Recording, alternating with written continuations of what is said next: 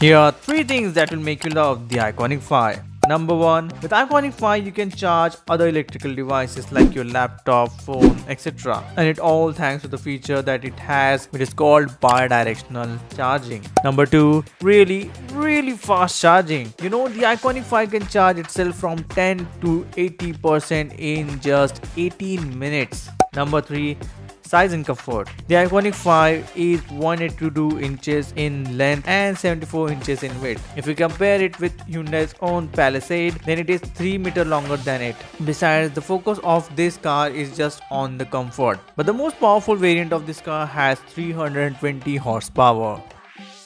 Follow for more car content like this.